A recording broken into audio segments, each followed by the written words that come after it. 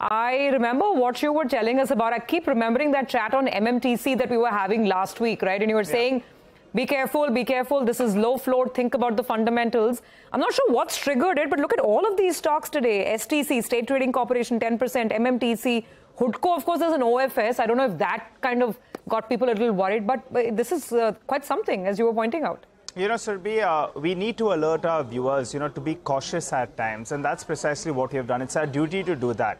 Stock prices, well, they could move up or down, but we need to alert viewers with regard to the low float as well. So just look at what's happened today. Take a look at a few stocks, KIOCL, ITI, and MMTC. Now, these stocks in the last six months, they're up by more than 100%. They're more than doubled. But in today's trading session, if you look at the intraday chart of a couple of these, you know, KIOCL, uh, ITI, they are down close to around 15% from the day's high itself. You know, a big downtick that we've seen out there. What's common in some of these names? You have STC as well as well that's uh, come off. Now, we are at CNBC TV 18 around a couple of weeks ago, I think two and a half weeks, we put out this uh, piece on ERT, that's Editors Roundtable, that some of these stocks, they're floating like butterflies, but be careful because they can sting like a bee as well. And today, these stocks are getting stung. Take a look at KIOCL. Look at the free float. It's less than a percent out there. Last year, EBITDA loss and net loss as well. So the reason that the stock actually has moved up is because the float is so limited. Next up, ITI. The government of India owns close to 90%, and then another government-backed fund, that's a special national investment fund, has 7.6%. So the effectively, the free float in the market is around 2%, last year EBITDA loss as well as a net loss. So you know, that's another stock. MMTC, you know, that stock was going one way as well on all sorts of rumors. 93% is held by LIC as well as the government of India.